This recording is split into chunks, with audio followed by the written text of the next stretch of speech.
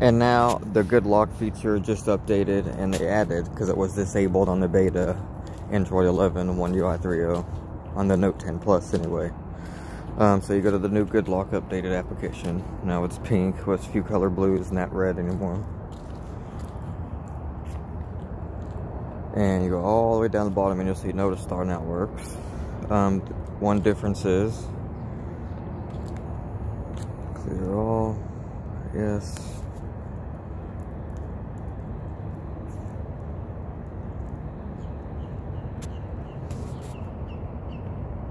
Settings. Okay yeah. So you can go to you can move it so it's conveniently where you want it to. And they'll put a symmetrical line as you drag. I like to put mine on the right hand mode. And you can pick the color. I got blue. And change the transparency. So that's it. Um, save We definitely added a few new filters and application lists. Um, but you can change where you get the notifications from instead of all.